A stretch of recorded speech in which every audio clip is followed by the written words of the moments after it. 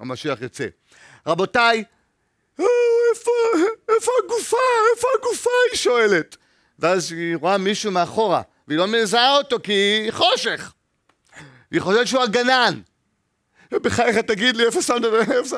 אומר לה, מרים, לא מרי, לא מריה הקדושה, מרים, או, רבוני, אל תיגעי בי. זוכרים את זה? אל תיגעי בי. זה יום הנפת העומר. ממחרת השבת, אל תיגעי בי. עוד לא הראיתי את עצמי לאביש בשמיים. הוא אותו עומר הנפה, הוא המוציא, ברוך אתה אדוני אלוהינו מלך העולם, המוציא לחם מן הארץ. הוא-הוא אותה השעורה שהייתה לחם עניים בתנ"ך. הוא אותו משיח בן יוסף הסובל, העני רוכב על הטון, או העיר בין הטונות. הוא הלחם הזה. זוכרים?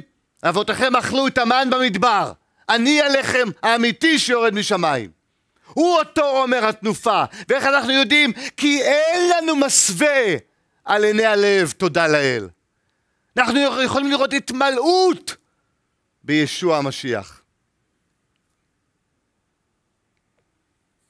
בואו נמשיך ונראה מה עוד אנחנו יכולים לראות. אמרנו שזה עשירית העפה, נכון? ישוע הוא אכן המעשר.